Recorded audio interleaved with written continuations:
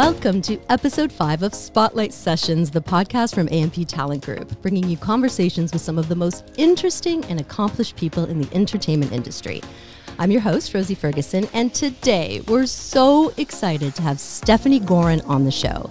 Stephanie is one of the most sought after casting directors in the business with over 25 years of experience. She's cast for some of the biggest TV shows, feature films, and theater productions, including, and this is just to name a few Reacher, It, Aladdin, Come From Away, Kinky Boots, Dear Evan Hansen. Her work has earned her multiple awards, including an Emmy for Best Casting of a Miniseries for Fargo. Stephanie is an incredible resource for actors looking to succeed in auditions, and we are so delighted to have her on the show today. Welcome, Stephanie. Thank you for having me. And that was quite an intro. I'll pay you later. no need, no need for that. Let's start with a question that's on the mind of every actor eager to impress casting directors like yourself. What is it that you're looking for from an actor during an audition, during the casting process? I think the thing you're looking for most is to see that an actor is connected to the material. They've t- taken the time to think about it and they understand what the character is and, you know, that it rings true. For sure. And when you're seeing an actor during an audition, do you see common mistakes that they might make that what advice would you give them to maybe help them avoid these pit- pitfalls? well, it, there's a lot of common mistakes. It depends, you know, if you're just starting or if you've been around for a long time. I I think that the important thing is to focus on the work and remember that you've been invited to that. It's like being invited to the party. You've got a chance yes. to audition. Um, if you're doing it nowadays, a lot of them are. If in the theater is starting to be in person, I've just finished doing that for for quite a while here mm. the last month. But TV and film tends to be on camera. And so the the good thing about that, you may think, oh, is uh, I don't get to be in the room with the person, but the good news is, is you could do that ten times and then just send your best one or two takes, depending on what they've asked for. And I think that's an important thing. The other thing is, is if you are taping, is to make sure that you hold your, if you're using a device, hold it horizontally versus vertically. Because if it's vertical what happens is we get these tapes in and we have about one third of the screen is you right. and and the other two thirds are black lines on either side. Not good. And, it, and no. Um, frame yourself well. Generally it's head and shoulders because that's what we want to see. If you shoot too far away we can't really see your reactions. And what we are seeing is what the producers and directors will see. It's actually no different because often producers and directors wouldn't be in the room because they're busy writing, they're scouting, they're in another country. And so we would send our tapes on to them. So what we're doing is watching everything and then then we will choose the number of people they might if there's 10 great ones 10 10 will go to the producer and director if there's only five we might only send over only five that sort of thing be careful your background is plain when I was doing casting here, just in my office, uh, we just threw up a blue sheet okay. up on the wall. You know, just uh, tacked it up on the wall, and it's just it's a nice plain background, not like the background I'm using right now, um, so that it's it's um, we can just focus on you and not what's happening all around you. I think that that's an important thing, and don't wear anything too busy. You okay. don't have to costume, but if you are going for an office, you know, manager type person or a lawyer or an agent, like an FBI agent. It's nice to wear a jacket. It's nice to have your hair look clean. You know, that facial hair is clean. It's better not to have facial hair, but if you have it, you know, make sure it's cleaned up because there are rules in the FBI and the cops about how much they're allowed to have. And if it's a simple, you know, if it's like a housewife or the lady next door, whatever, just something simple, not overly patterned and be careful with stripes and things like that. Um, props, Stephanie? Sometimes you'll see insides there'll be, you know, perhaps you know you're holding a phone, and that's easy. We all have phones, but mm-hmm. what if it's a prop that you know you might not necessarily have in that house? Should you try to acquire that? Should you just try to to approximate no. it? Don't do it. Okay. Period. Okay. okay. So I know that's a question people actors ask a lot. Like, should I should no, I have this? Like, I does it matter? It's funny. Somebody told me a story um, about a week ago about someone coming in with a lawnmower because they thought it would make it. It's a funny story.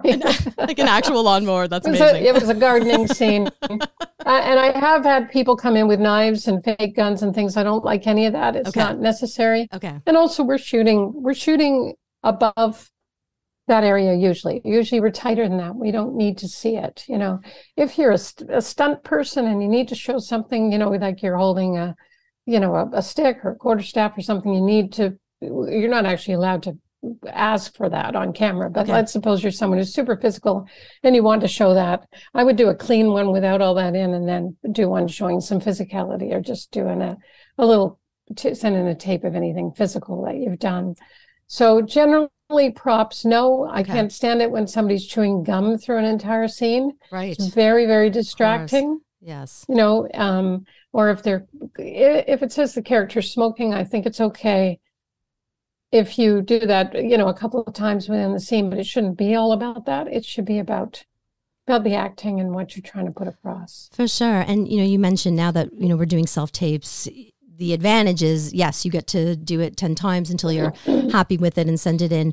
But what advice would you give to actors that when you know when you go into the casting room for, for an audition it's there's that energy and, and you have that adrenaline and sometimes taping a self tape at home by yourself you, you might lose that that energy and maybe you're going to do it 10 times maybe you're going to do it 20 times. When do you just oh. stop? And and what should you prioritize in terms of of lighting and audio that kind of thing? Like how how particular are casting directors like yourself looking at how good the audio is or how good the lighting is the audio is quite fine on I've, I've cast many many people for big roles small roles all sorts of roles who've taped on a phone or with a okay. simple camera at home you don't need to have an, a special overhead mic. You do not need to have a clip on mic or anything like that.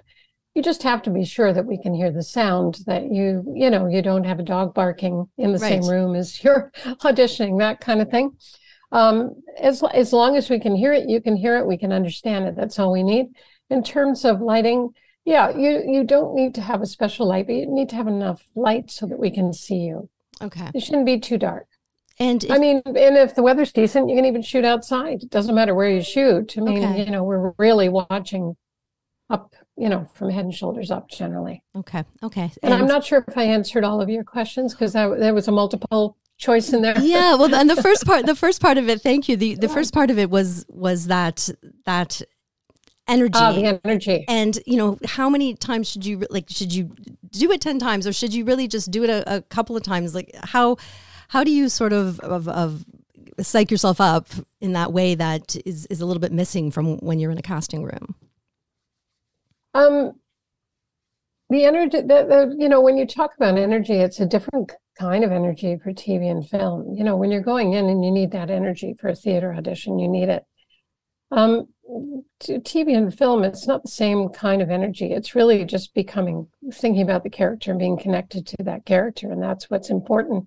How many times you do it? Sometimes you can get it in one and you right. might do a second one just because you want to see how it looks. And sometimes you're not really connecting to the character. And so basically you're using the camera as a rehearsal. For for in terms of connecting to the the character, do you feel that actors should make that effort to be off book for for an audition, or would that be more when you get to the callback phase? How, how do you feel about that? A lot of people are booking just directly from their tape. There haven't been as many callbacks I found, unless it. it's a really large role, or there might be a tie between three people, and then they'll call them back to try different things, you know. But generally, they'll just book from the tape. Okay. And so it's whether or not you're off book, I think that's you know, we can't require you to be off book, but the more comfortable you are with the material, the more that you're engaged and the more connected you are to that material, I find, you know. Uh, uh, if you have your pages on, you're doing an office scene, there's plenty of ways. I mean, you could be sitting even, you know, you might have a computer that's that's near you or off to the side. Your pages could be there. You know, when we speak to someone, we don't always speak directly into a camera and I wouldn't play directly to camera anyway. Okay. I play slightly off and hopefully you have someone who can read with you. Yep. And then you may have, uh, you know, you may have another person in the scene and your pages are going to be on that side. So as long as they're out of frame, there's no reason not, not to have them if you need them. But I would try to learn the top and the end of it if you can. Okay. It makes for a stronger start and finish. Absolutely. And you, you mentioned readers. How important is it for your reader to be good? You know, like obviously, you know, they, they're reading does it uh, matter if your reader is, is, is an actor or if it's you know just your partner at home that you've dragged into the room to record yet another audition with you? What what what? How important is that? I've had plenty. I've listened to plenty of tapes with readers, especially during the beginning of the pandemic, where it was, you know, the eight-year-old son at home, or the grandma, or the grandfather, or someone who barely spoke English, and sure. uh, and and as long as you can stay uh, with it, it it can be distracting. Yeah. I have to say, you okay. have to be careful. Whoever you've got reading, that they don't need to be bigger than you are. They they they're just trying to keep the flow of it. So even if they're not reading it correctly as an actor, as good as an actor would would read it, as long as it's got some flow to it, just have them practice it a few times and and making sure that they don't leave long pauses and they don't overact within the scene to give you more to do. Like I listened to one yesterday where the person and this was a very good actor and the person reading with the actor was screaming their way through because it was a fight and that's not necessary. So and that would I, be distracting would be very sure. it, yeah I would you do not want your reader to be distracting for sure. Okay. it's about you. Of course it's not about them. They're just there to help you.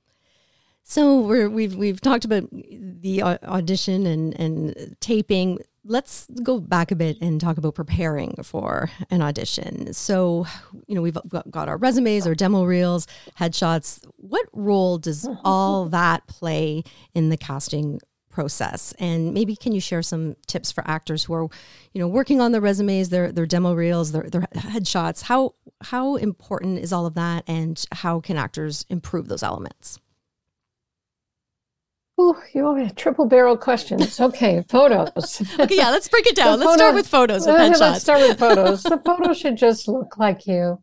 Okay, that's all we need. Okay. We don't need a big glam shot uh, because half the time, you know, you'll get these photos that are glam, or it's somebody with their arm up, leaning against a wall, or or their arms crossed like this, or whatever. Just, just you know, with sort of mid chest up or head and shoulders, and and just look like you. A nice, pleasant shot. Okay so you know, and the eyes should be should be alive, not overly made up. Natural is much better in, in nowadays. That's what people are looking for. Sure. They're looking for more natural.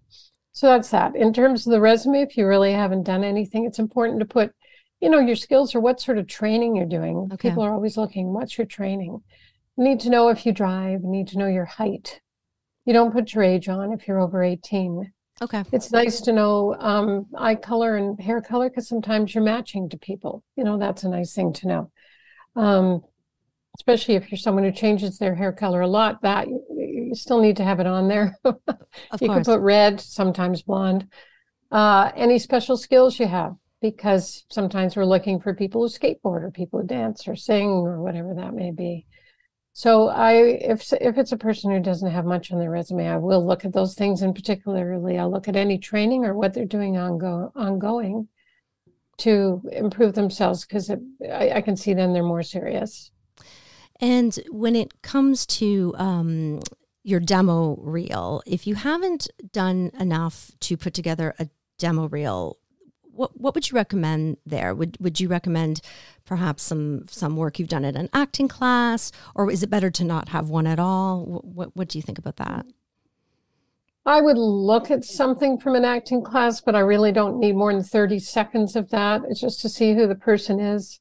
And and if you in terms of a demo reel, uh, even short clips are fine. You know, if you've only got one clip that's good, use it. If you're in something where the person opposite you isn't good, I wouldn't use it. Okay. Um, because it's going to be distracting and it also shows that it wasn't a good production. Got it. So that's the thing. It has to be about about you. And um, if you're starting out, quite often people don't have demos anyway. Okay. Okay. And if you have booked a, a, few things and, and, and they're and they're decent. How long in total should a demo reel be? You know, I've heard two minutes. I've heard you know it could be uh, three or four minutes. Really, should it just be about two minutes? Um, it, it just again it depends on the material. I okay. think that three minutes tends to be a good length. But I do know some of the actors have been around for a very long time. Their demos may be five minutes long. I don't think a producer is going to look was going to spend five minutes period generally you know unless only the demo's being presented because they're a high profile actor Okay. In which case, they're probably off on set right now and not listening to this. so, uh, but it really doesn't need to be five minutes. It needs to be good. It needs to be good. You're, it just needs to, it could be one minute long if it's two good clips that really show you off and really, you know, let us get to know you and, and your skill as an actor. Okay. That's that's all we need. That's enough to see. Now you so you've got the audition, you're you're ready to you know perform for in, in, front of a casting director. Now you mentioned that these days everyone is booking from the self tape, um, but if you are in the in the in the process where you are getting a call back, how do you advise actors when they're receiving feedback or if they're getting redirection from the casting director in an audition during that process? What advice would you give actors into turning that advice into better perform into a better performance? I think it's just the same as if you work with an acting teacher. You just listen to what the producer, the director, or the casting director is advising you because they've read all the scripts or the script if it's a film and they know what they're looking for and they might help you with the tone or what you're not quite doing right with it. Okay. And and you just have to listen listen try to take it in. If you're not positive what they mean ask the question for clarification. Don't ask a question just for the sake of it. Just ask it because you aren't really sure what the or or just to be sure that you know what they're asking for. I think that that's an important thing to do um, sometimes it's a tonal thing, and that's another. Uh, just skipping to prepping for auditions. Yeah. Period. There are a lot of shows in Toronto now that have been going on for years, and it always surprises me when someone's going to audition and they don't do a good audition because they haven't done the research. If you don't have Paramount Plus, you don't have Amazon, you don't have Netflix, whatever uh, you know that particular show may be on, you can always find clips online, and you want to know what the tone of the show is because the tone of the show it makes a difference. You know how you act a scene that's a really good point and it seems like such a, a basic thing. Just you know watch watch the shows see what it feels like to have it reflect. But is that probably maybe that's something i think we all need to be reminded reminded of. Yeah yeah because you you know you suddenly get an audition you go oh no no no you know i don't have time i have to learn this. And and and really just a clip there'll be clips online even just finding a a clip just to know, okay, what is it? Is it a, you know, an action drama? Is it a drama with a bit of humor? Is it more of a sci-fi? Is it a Hallmark, which tends to be more smiley? happy moments, happy and sad moments. So you know where you're going there. Um, I think it's it's good. It's it's it's that's a good way to educate yourself and, and learn a lot from that. For sure. And then in terms of of working on your skills so that when you do get an audition whether it's it's in the room or or you're taping it, what do you see with actors that you think that they should be working on more? Is it is it is it voice? Do you wish people were taking more acting classes? Is there anything that you think everyone should be working on a little bit more? I wouldn't ever use that as a general statement because many actors really do know what they're doing and it's hard. It's become more and more competitive out there as as um, this world has uh, grown in Canada, and many people know there are a lot of shows out there, and you can make a living. And so, you know, it used to be I might have a hundred people suggested for a part that's got, you know, six to eight lines. Let's say it's a small principal. Sure. Now, uh, I if it's a female, I could have 450 people suggested. Wow. so there there you know so you you got to up your game yep. so you need to be make sure that you you know that you are trained and and you know keep your chops up a lot of people who are unless you're on set a lot if you're on set a lot that's training in your in itself because you're working with directors producers and you know really high caliber actors but if you're not getting on set a lot then i would try different classes you know okay. it's good to work with different teachers because the lights something you go, oh, I never thought of that, or something will make the lights go on that one person explains to you differently than another. Absolutely. So, before we wrap things up today, I'd really love to tap into your expertise to address a, a, common challenge I think that many actors face. And, you know, in light of what you said about things being even, you know, more competitive than than ever, coping with rejection and of course all those negative feelings of discouragement that comes with you know, hearing no, and of course, a, an aspiring actor will hear no many, many times. What advice would you offer to actors who are perhaps in need of some uplifting guidance? Oh, it's really tough. it's it's it's tough. I was an actor first, way back, you know, yep. and it's it's hard. And you, especially if you find out you get down to the last two and you didn't get it, you know, and it's dash, it, you know, it's just devastating at first. You have to learn to get over that and find other things in your life that also make you happy. Um, I think that the good thing nowadays, which was different, you know, when I was performing when I was very young, is you can now make your own content as well. So if you love to act, get together with friends, create something, shoot it. You know, even if you don't end up doing anything with it, um, shoot it, have fun, and and watch the performances and how can you make them better and that kind of thing. And there's a lot of small film festivals out there that you can submit to. You know, you might not get into South by Southwest or Cannes or something, but there's plenty of the small ones like, you know, small web series or shorts and things like that. So, and and I think that that's a good thing as well.